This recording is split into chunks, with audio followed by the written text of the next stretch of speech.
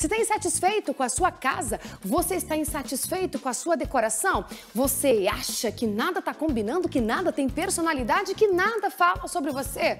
Conheça sobre a arte chinesa, Feng Shui. Ela é muito utilizada por, é muito utilizada por arquitetos para trazer uns ambientes mais gostosos, harmônicos para sua casa. E olha, sério, assista essa reportagem que você vai gostar demais. Pega a dica.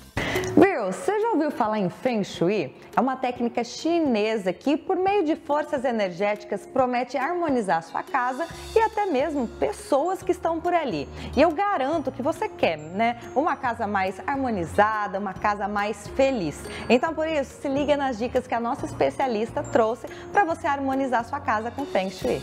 Dica número 1. Um. Então, no Feng Shui, a gente tem o ciclo construtivo e destrutivo, né?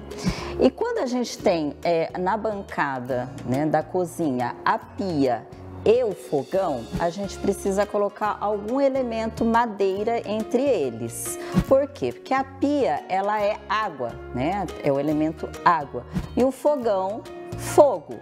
Então, nesse ciclo, ele vai estar tá destrutivo, porque a água vai apagar ali o fogo do fogão. E no Feng Shui, o fogão é ali é o centro da prosperidade financeira ali da casa, né? Então, a gente coloca é, no meio um elemento madeira, onde então a água vai nutrir essa madeira, que pode ser uma planta, né, uma, uma erva, né, uma planta de, de né, hortelã, alguma coisa assim, ou uma é, colher de pau, alguma coisa madeira, que essa madeira vai então nutrir ali o fogo do fogão.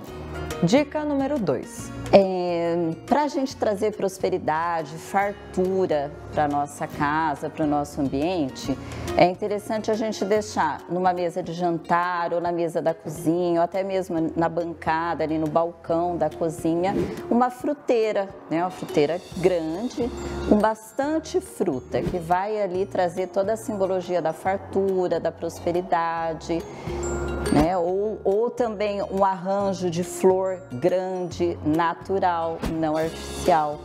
Também vai estar trazendo essa simbologia da prosperidade.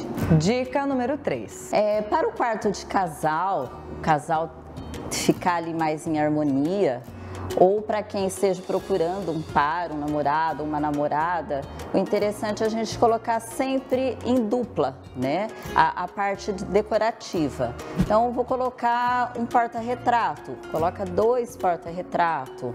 É, vou colocar uma planta, dois vasinhos de planta. Então, sempre em parzinhos, almofada, os travesseiros, é, dois, quatro. Então, sempre trazer essa, esse parzinho. E deixar, assim, esse quarto bem aconchegante, trazer, assim, um tom suave, né, um rosé, para trazer ali essa questão do amor. Viu só? Agora você vai conseguir aplicar algumas técnicas de Feng Shui na sua casa, viu? Qualquer dúvida que você tiver, manda lá no arroba Maringá no Instagram ou também no nosso canal no YouTube, Rick TV Maringá. Tô esperando as dúvidas de vocês e também sugestões para nossas matérias. Ai, Mari, matéria legal. Valeu, valeu. Beijo para você. Gente, que tal a gente falar de emoções agora? E que tal você acolher